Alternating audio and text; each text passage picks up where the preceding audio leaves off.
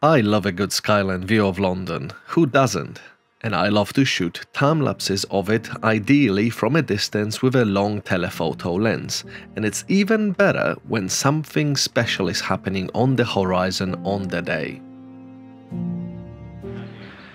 Good evening, guys. Today we are vlogging really dark from Norwood Park, where I'm together with Charles, Henry, and Fabien that you can't see anyway because it's ridiculously dark and I'm trying to vlog without a light. But we're here today to shoot Comet Neowise right above the skyline of London. And this is where we first noticed it, just above the London Eye, beautifully traversing through the sky and it was just so weird you could barely see it with a naked eye, but then on the photos it obviously came out so much better.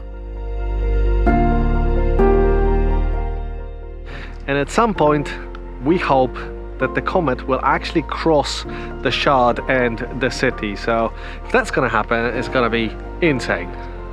And we were prepared to capture that insanity. Everyone was shooting on pretty much two bodies each, and we had variety of brands because we as friends, photographers or time lapsers, none of us discriminate anyone else because they're shooting on a different brand. There was Nikon's, Fuji's, Sony's, Canon's, you name it.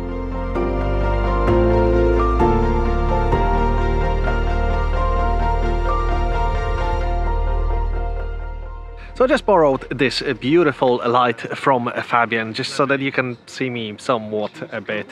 Things are working out really, really well. We are actually anticipating that the comet might touch the skyline, like the Shard and maybe even the 22 Bishopsgate, which was a very, very long shot when I was kind of like thinking about this location to come here this evening. And it seems to be turning out that we might be way luckier than I thought that we could be. Yeah, that was optimistic, but how wrong was I? We started seeing that the comet is flattening and it's not going any further down as it was approaching the city. By now, I knew it's gonna go about a shard above the shard. While two days later, actually Alyn Wallace, who is one of UK's best astrophotographers, released a video how to plan to capture comet Neowise using stellarium as well as photopills to understand at what degree above horizon the comet's gonna go and which lens to use. Definitely recommend watching that video, link in the description. So at this moment I had to decide if to stay and watch it go across the skyline above it or do something else and I decided for the latter. I knew a spot near Herne Hill in Ruskin Park so decided to drive there and it turns out it was still gonna go above the shard from there. So I had to plan for another location and the closest idea that I had was to drive towards Rotherhithe where I could capture it just above Canary Wharf just as I arrived, I saw the Comet left to Newfoundland and the new landmark tower, so I thought this is gonna be something, so I set up my time lapses. First one that you're seeing right now is the 180mm time lapse on Z6, and while this was running, I set up my second body with the 500mm, hence there was no vlogging at this point.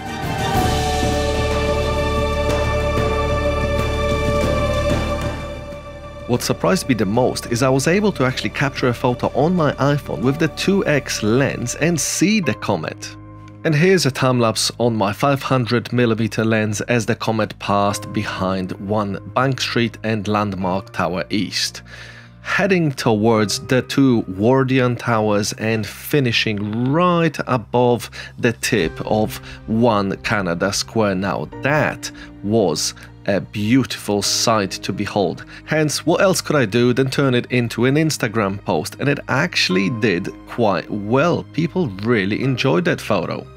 And as the time-lapse finished, I noticed noctilucent clouds forming on the horizon, and here's a 20mm photo with the comet as well as the NLCs. And while the 20mm time-lapse was running, I captured a few short time-lapses on the 180mm towards the horizon and the cityscape.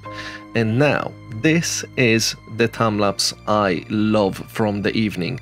The comet moving across the Canary Wharf skyline and the NLCs beautifully spreading just above Limehouse. But now that I think about it, if I actually stayed at the first locations, these amazing NLCs would actually be happening behind the London City cluster skyline. That would have been absolutely epic.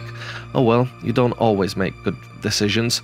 Thanks a lot guys for watching this far, hopefully you enjoyed it, you know what to do. Like, comment, subscribe, and I'll see you in the next video.